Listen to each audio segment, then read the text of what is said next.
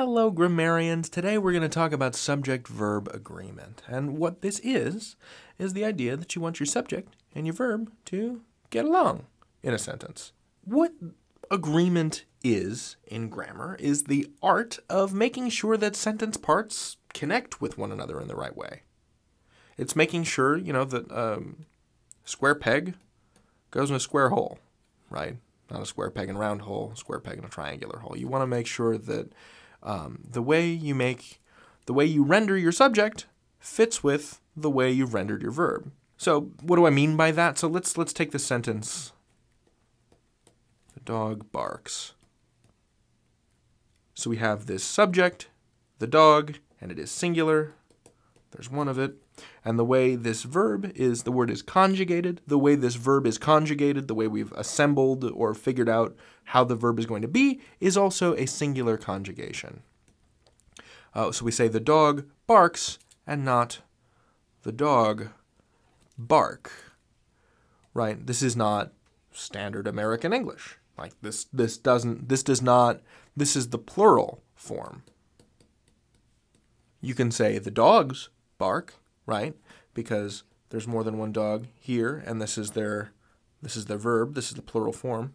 I know it's kind of strange that the third person singular form of a verb ends in s. Like if English made sense, like if, okay, if I if I ran the zoo, right? Like I would want it to work like this. The dogs barks, right? Cuz there's an s, there's multiple. Unfortunately, for many weird reasons and the history of English, it, it doesn't, it didn't work out that way. A third person singular verb usually ends in an S. Right, so I talk, that's first person. Third person is she talks.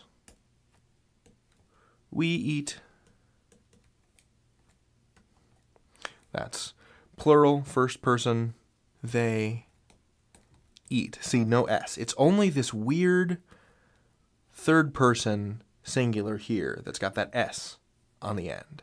So if you're trying to if you're trying to figure out how to make something agree, if you're unsure as you're writing, so if you're looking at a, a sentence like the dogs bark, and you can't figure out if it's supposed to be the dogs bark or the dog barks or the dogs barks, ask yourself first, what is the subject of the sentence? So first find the subject. And then ask yourself, is it singular or plural? Is it S or P? Is it salt or is it pepper?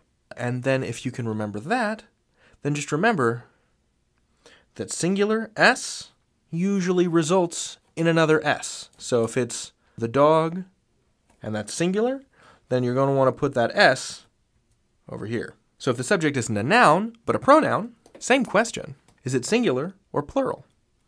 I is singular, there's only one me. We is plural, there's many of us. And if it's singular, third person, so like she, he, it, uh, end it in an S.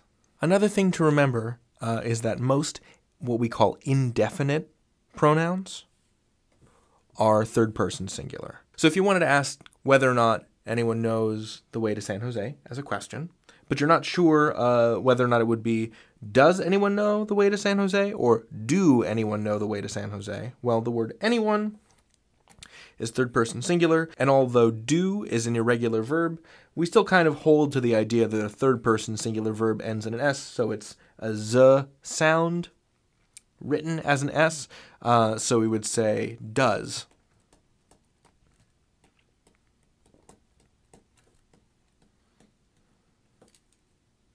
So, does anyone know? As opposed to, you know, if it were in the plural, do we know? Right? So, does is singular, do is plural. And that's kind of the basic idea of subject verb agreement. Is you want to make sure that the number of things in your subject matches up with the number in your predicate. So is the subject singular or plural? If it's third person singular, uh, the verb probably ends in an S, even though the third person singular noun or pronoun does not. You can learn anything. David out.